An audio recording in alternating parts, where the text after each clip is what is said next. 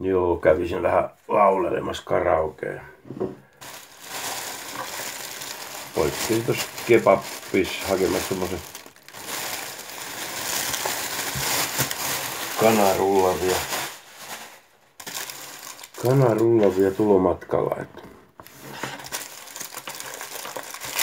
koko päivänä mitään syönyt, niin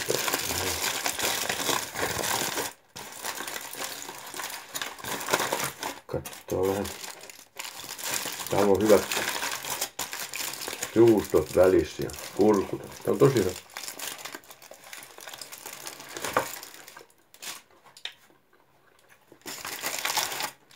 Kyllä nyt on pojat sen hyvät eväät. Kurkkuu ja kaikkia välissä. Mitä on kana? Kanarulla.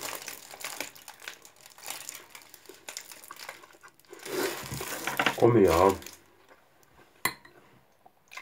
Maidon kerran.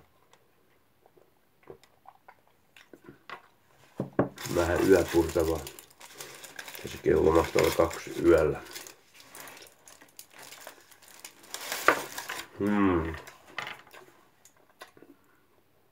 Mutta ei tehdä nyt mitään pitkää videoa. on tämmönen lyhkäinen vaan. Tässä mässäillä sen enämpiä. Tälle voitais antaa varmaan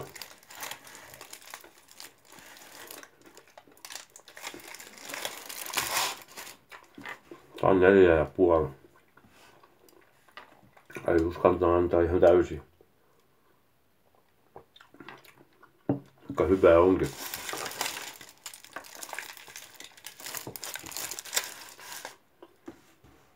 Mut tsemppiä. Ja kyllä. Ja kuulla. Mennään mässäilen tän ruokasuus puhumaan.